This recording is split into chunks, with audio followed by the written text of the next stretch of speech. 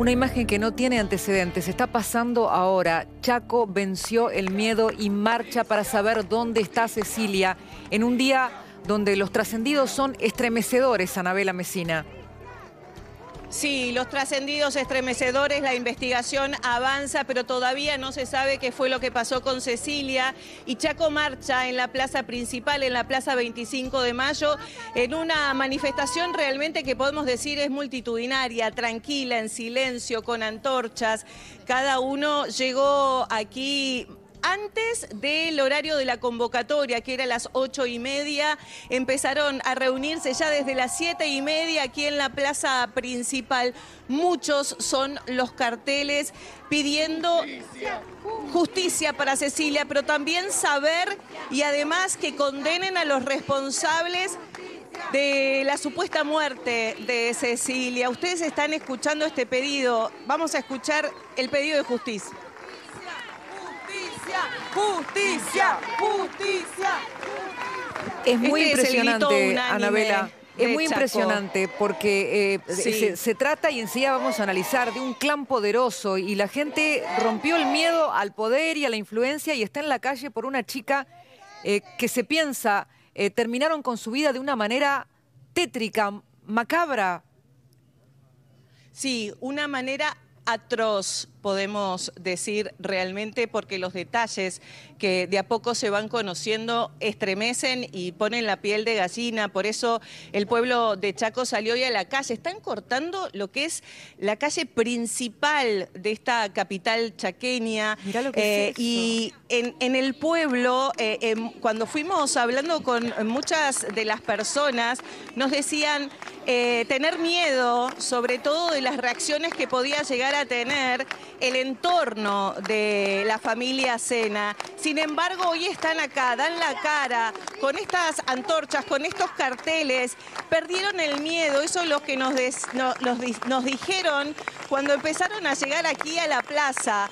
Realmente eh, están cansados y el crimen de Cecilia eh, fue como la gota que rebalsó el vaso. Están cansados de estas reacciones y de esta forma de poder, eh, de no poder manifestarse y de reclamar. Aquí están haciéndolo, reclamando justicia por ella, pero también por cada una de las mujeres que eh, han eh, padecido de la violencia y también muchas de ellas han desaparecido. Estaba pensando en lo que nos fuiste contando, eh, en las amenazas que recibieron los que se animaron a, dar información. Estaba pensando en, la confesión del detenido que dijo que la vio amordazada en una camioneta con vida y que se la llevaban al campo donde está la chanchería. Pensaba en que se piensa que ese lugar fue precisamente la escena del crimen es todo tan terrible que es absolutamente comprensible que la población y la comunidad del Chaco esté estremecida, conmovida y pidiendo justicia. Hay una conmoción tan grande que a cada paso a donde vas, desde un negocio, eh, en la calle, cuando nos paran a nosotros, no paran de hablar de, este tema, del crimen de Cecilia, y todos quieren y preguntan qué es lo que sabemos, porque ellos también quieren saber. Eh, hasta el momento no hay un dato certero de dónde estarían los restos de Cecilia. Hoy se avanzó con un allanamiento en uno de los campos de la familia Sena, sin embargo este allanamiento eh, dio como resultado negativo. Hasta ahí había llegado la fiscalía, el cuerpo de fiscales especializados eh, después de eh, testimonio del casero arrepentido, podemos decir, Gustavo Melgarejo fue el único que dio testimonio en la indagatoria ayer por la noche y a partir de ese testimonio se pudo reconstruir los últimos pasos de Cecilia porque nadie hablaba, nadie decía absolutamente nada y eh, eh, es por eso que a partir de eso se iniciaron nuevos allanamientos. Muchas gracias, Anabela. Enseguida volvemos y, amigos, ¿cómo no recordarlo? Esto tiene reminiscencias a lo que se vivía en Catamarca con el caso María Soledad Morales, hijos del poder y también la impunidad que lleva a lo más aberrante. Eh, y ahora vamos a hablar del clan Sena, mientras esta multitud está haciendo historia en las calles de Chaco. A Emerenciano Sena lo comparan con Milagro Sala, De hecho, el poderoso líder piquetero de estrechos vínculos con el gobernador Capitanich, muy temido, era candidato. Hasta hace unos días, él y su mujer eran intocables. En estas horas lo dejó hasta su abogado. Para el fiscal, él, su mujer y su hijo son los asesinos de Cecilia. En el punto uno es la comida que venimos reclamando hace desde junio, julio.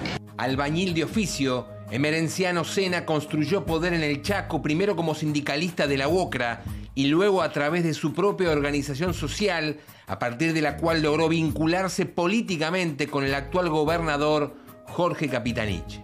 Nosotros estamos planteando eh, la, la organización y la construcción de una sociedad extremadamente solidaria, extremadamente trabajadora. No tenemos delincuentes. El caudillo del norte, como se define en su libro autobiográfico, era candidato a diputado provincial por el Frente Chaqueño, espacio que responde a Capitanich, testigo a su vez de la boda de cena con Marcela Acuña, también líder del movimiento emerenciano se tiene que investigar, no se tiene que poner por arriba la bronca que uno le tiene a Merenciano a Marcela, sino se tiene que investigar que aparezca Cecilia y no matarlo como lo están haciendo a mi hijo, porque a mi hijo lo están matando.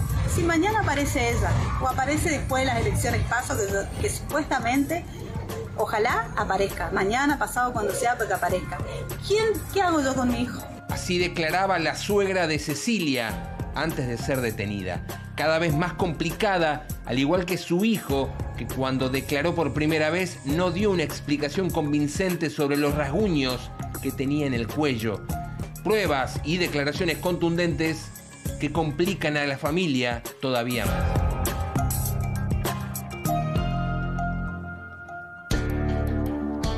Y hay una persona clave que está en línea en este momento. Te lo vamos a presentar. Es Juan Díaz, abogado. Desde el 2012 es el representante legal de la familia Sena, pero ayer renunció a la defensa por diferencias irreconciliables, dijo. Eh, y estamos en vivo con el doctor Díaz. Eh, muy buenas noches, doctor Díaz, y gracias por estar con nosotros. ¿Qué tal? Buenas noches. Eh, buenas noches, Cristina. ahí, a ver, ¿se me ve bien ahí? Perfectamente, doctor. Sí, así es. en el día de hoy presenté mi renuncia a esta causa porque, pues, según mi criterio eh, particular, ya no, no, podía seguir ejerciendo la, la defensa de, de, las personas de César Sena, eh, eh, Fabiana González y Gustavo Obregón.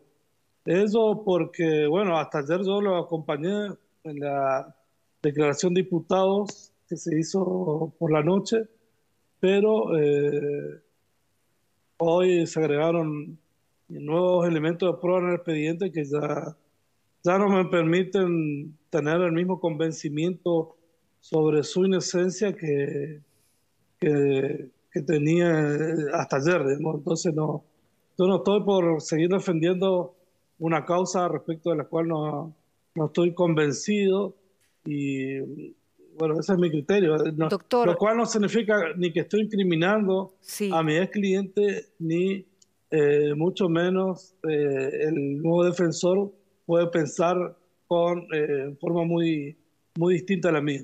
Ahora, para usted está ante un hecho criminal y los considera indefensibles desde su punto de vista ético.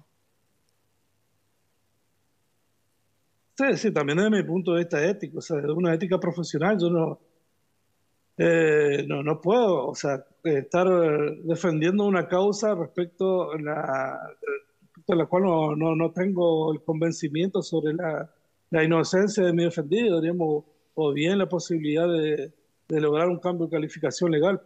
Entonces, eh, de, mi defendido en este caso. Entonces, eh, no, he decidido renunciar, presentar mi renuncia a la, Doctor, usted, usted en esta, en esta idea de que son indefendibles, recién dije indefensible, indefendibles, eh, usted habló de, evidencias que se fueron acumulando. Eh, ¿Usted considera que las evidencias son contundentes con respecto a un hecho criminal?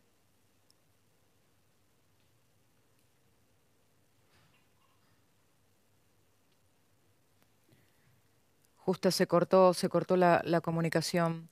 Eh, es, un hecho, es un hecho muy delicado el que se está plasmando en vivo delante de todos ustedes. Una persona que desde 2012 era el estrecho representante legal de este clan tan poderoso, dijo, en esto no los puedo defender, no estoy convencido de su inocencia. No sé si ahí me recuperó, doctor, ¿usted ahí me escucha? ¿Ahora me está escuchando, doctor Díaz? Ahora sí, lo vuelvo a escuchar. Bien, recién le preguntaba, ¿usted considera que se ha acumulado evidencia contundente sobre eh, el hecho criminal? En parte, en parte. Falta. Bueno, eh, vamos a, vamos a eh, eh, lamentablemente perdimos esta comunicación, pero vamos a volver a esta imagen que no tiene antecedente, Anabela, allí en Chaco. contame tu impresión, porque desde aquí se ve algo de lo que no tenemos memoria que haya ocurrido. Sí, realmente no tiene antecedentes y quienes están acá en la marcha tampoco nos dicen. Eh, es una marcha muy multitudinaria, eh, con, con, antorchas, con velas, con muchos carteles, pidiendo justicia y también perpetua para, para, los responsables del crimen de Cecilia. Se esperaba que ocho y media llegara la madre de Cecilia y su hermana, Ángeles. Eh, ellas todavía no llegaron hasta aquí. Ahora se está escuchando el pedido de que se suspendan las elecciones del domingo, las primarias eh, que estaban previstas para el próximo domingo. Ese es el reclamo, no solo de la madre, sino también de todos los que están aquí en la plaza. Eh, más allá de los gritos y el pedido de justicia, hay mucha tranquilidad, hay muchas familias y la mayoría de quienes están acá son mujeres, mujeres que están pidiendo saber qué fue lo que pasó con Cecilia. Es muy impresionante, Anabela, es realmente muy impresionante eh, lo que se ve allí en esta noche fría, donde hay cientos de personas en la avenida principal de Chaco con luces prendidas. Quieren saber dónde está Cecilia. ¿Dónde está Cecilia? ¡Presente! ¿Dónde está Cecilia? ¡Presente!